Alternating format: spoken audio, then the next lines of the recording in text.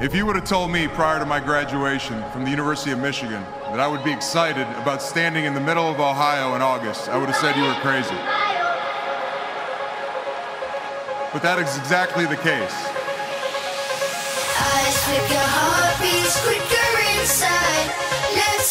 My college coach, Lloyd Carr, used to ask us, where would you rather be? Well, coach, my answer is nowhere. Because as far as I'm concerned, there's not a better place on earth than Canton, Ohio today.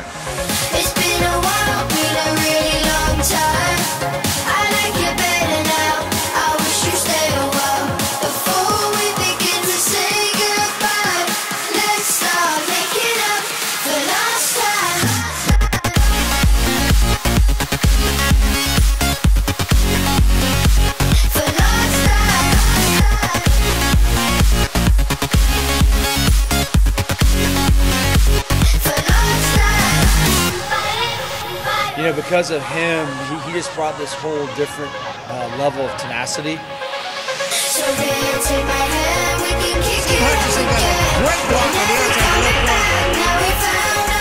Hutch, what's up? Congratulations on the Pro Football Hall of Fame.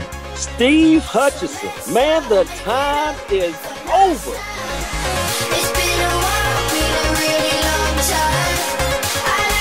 You gave this league 12 years of playing at a high level. Tell about a guy that dominated the game for a long time, Hutch, that was you, man.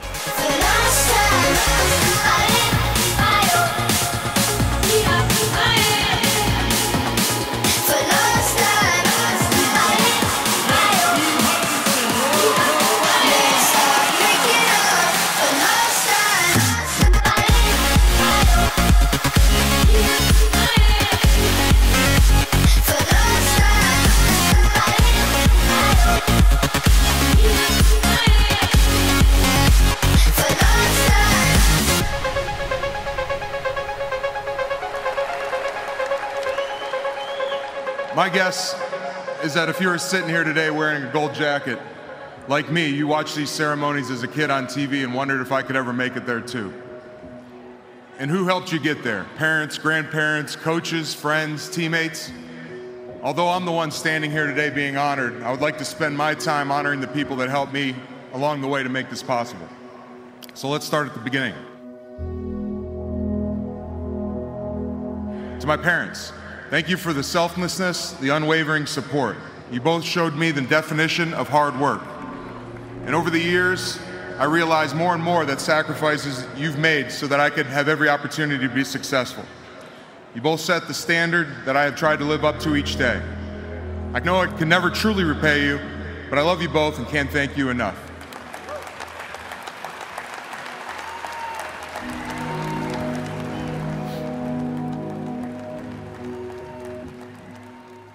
My in-laws, Kevin and Belinda, thank you for over 30 years of support.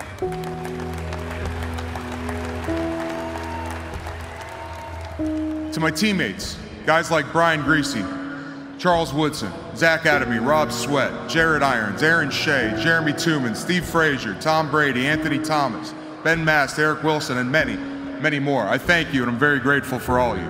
My roommate, Jeff Backus. I looked up to you more than you'll ever know. I thought I was tough, but not like you. The late Jim and Bonnie Mandich, as well as the rest of the Mandich family. You always treated me like family, and we miss you too dearly. My position coaches, Terry Malone, Greg Madison, Mike DeBord, Brady Hoke. Technique was the foundation of my game, and ultimately why I'm standing here today. To my teammates, especially my veteran offensive line mates, Robbie, Chris Gray, Matt Burke, and Walter Jones, thank you for your leadership. Robbie, you set a great example of how to be a true pro as well as a great father. Walt, I would have loved to play every snap in my career next to you. For as great as you were as a player, you're a better friend.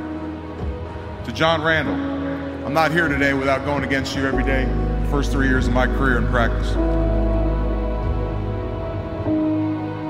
Lastly, to my wife and kids, Lily and Luke, I thought the days that you two were born were going to be the best two of my life.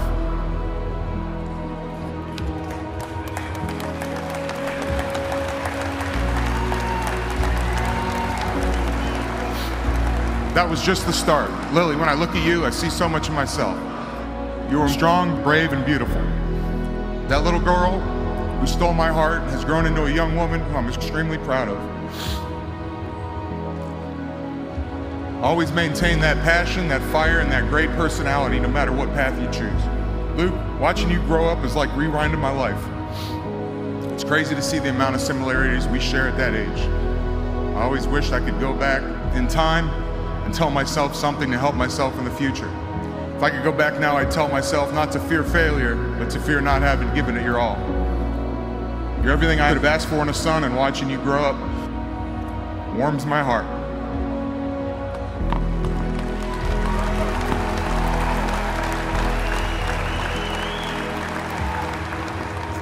have as much confidence in you as I do. It's going to be fun watching you figure yourself out these next few years. I need both of you to know how incredibly proud I am to be your dad. This might look like my biggest accomplishment, but being your dad has and always will be my greatest honor. It's my wife, Landon. You've been by my side since eighth grade. They say that football is the ultimate team sport, and since the two of us have always made a great team, I was able to completely focus on my career and ultimately stand up here today.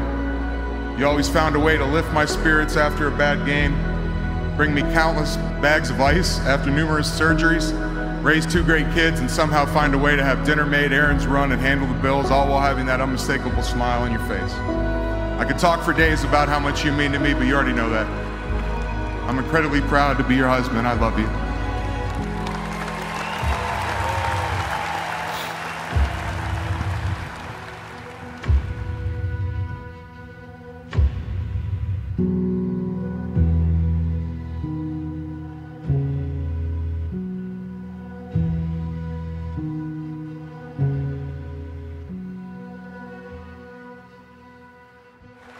In closing, thank you to the Hall and all its volunteers. Thank you to all the fans everywhere and at every stage of my career. The energy you bring into the stadiums on Friday nights, Saturday afternoons in the big house, and of course Sundays is what fuels us. And to the kids out there who are dreaming of playing in those stadiums or wondering if you can one day be up here as well, never give up on your dreams. Hard work and dedication are two necessary ingredients for success, but you can't do it alone. Lean on that parent, that grandparent, friend, coach, or teammate. Success isn't always comfortable or easy. It requires sacrifice. I remember back to my freshman year of high school, walking out to the first of two practices in South Florida heat, while many of my friends were hanging at the beach or the pool. I had made a choice then that I wanted to be great, and I never looked back.